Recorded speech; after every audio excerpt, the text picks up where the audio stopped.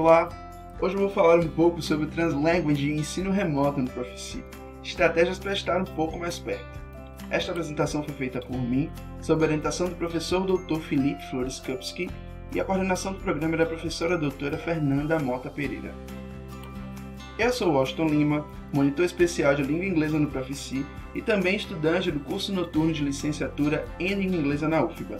E o objetivo desta apresentação é trazer um breve relato de experiência mostrando a presença do Translanguage em atividades síncronas e assíncronas de setembro a dezembro de 2020 no Profici.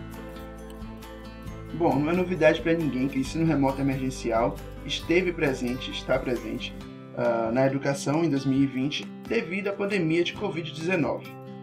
Bom, isso levou ao Profici, dentro da conjuntura da UFBA, a um desafio que era de repensar que caminhos tomar e que estratégias adotar dentro desse ensino remoto emergencial.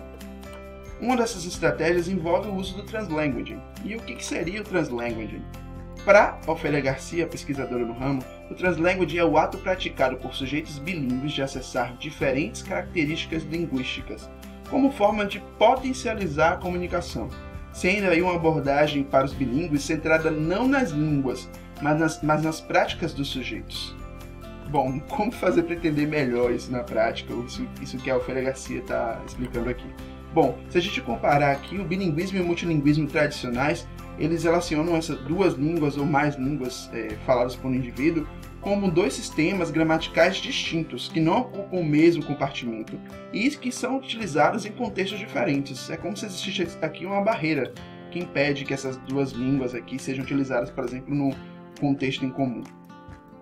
Diferente disso, os defensores do translanguage entendem que todo o conhecimento linguístico do indivíduo ele está em um compartimento comum que realiza constantes trocas.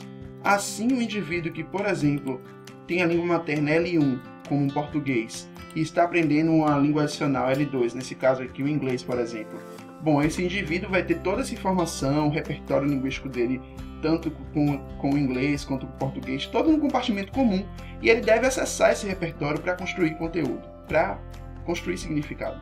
Assim, o aluno ele pode utilizar as características de ambas as línguas que formam o seu repertório para construir significado. Bom, na prática, isso leva ao foco nas práticas dos sujeitos, a um respeito ao repertório linguístico total do aluno e também um respeito ao background linguístico e cultural do aprendiz. Como a gente fez então para aplicar esses conceitos nas atividades no Profici?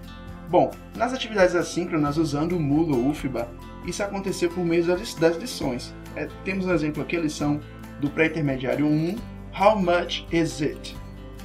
Nessa lição, numa sessão que fala, ensinava os alunos a como pechinchar em inglês, a gente tem aqui um aviso em inglês e junto a esse aviso em inglês, que fazia parte da sessão, tem um meme em português. Esse meme em português ajuda a entender mais ou menos o conteúdo aqui desse aviso em inglês.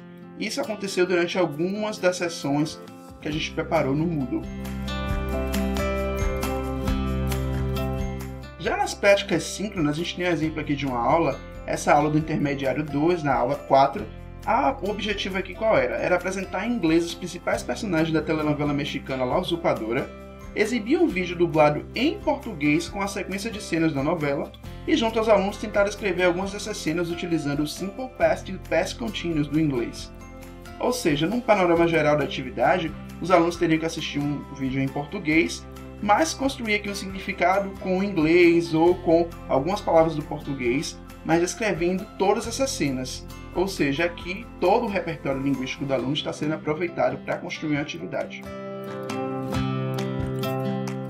E o resultado disso é que os alunos, no final, das, no final dessas atividades, eles tinham mais autonomia para falar do assunto, eles estavam menos inibidos e por isso exibiam uma, uma produção oral mais ativa e também melhorava o fluxo de comunicação durante as nossas aulas. Essas são as nossas referências. Muito obrigado.